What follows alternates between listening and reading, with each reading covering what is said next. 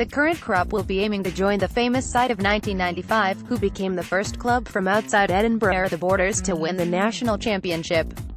It was a different era back then, with the Bridgehaugh outfit boasting international stars like Kenny Logan, Kevin McKenzie and Ian Jardine, who is now the club's second 15 coach, as they became the last league champions before rugby went professional. Absolutely, said Stirling player, coach Peter Jericevich when asked if the class of 95 acted as an inspiration heading into today's final. From a personal point of view, as a player and coach it has been my reasoning to go to Stirling to win silverware.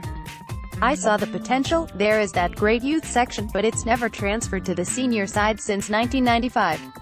The aim of the whole squad is to win. Ian Jardine is our second 15 coach.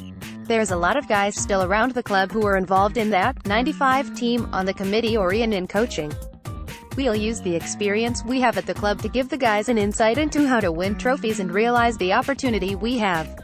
Jericevich fields Glasgow Warriors and Fiji star Nico Matawalu on the wing but is perfectly comfortable with being branded underdogs against the champions and holders, that's understandable.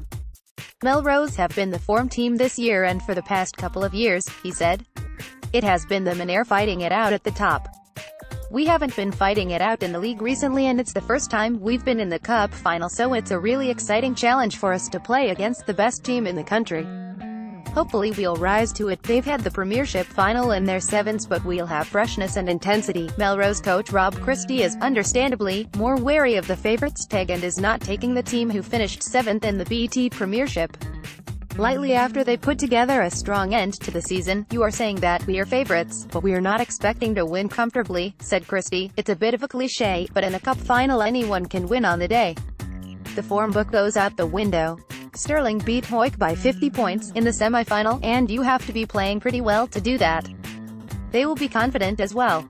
It's an exciting day and we'll see how we get on. Stirling have quality players throughout their squad. There's no doubt about that. When you play against decent players they generally go up a level as well when they know they have to. We definitely won't be underestimating them.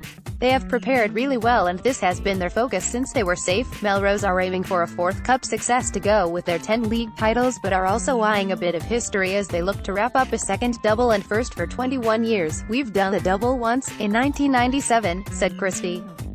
For the club, for the town, for the whole community it would be pretty big. But more importantly for me it would be big for the players because it is a really special group this year, and has been for the last two or three years. They've worked extremely hard. They've done everything that's been asked of them and hopefully they will get their reward. For me, it's more important for them.